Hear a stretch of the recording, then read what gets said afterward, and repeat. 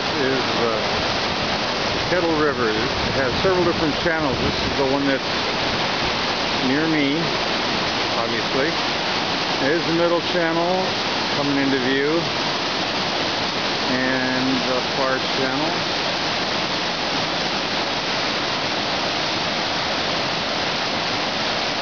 There's actually another channel coming in here from the right little one. It's not so little right now.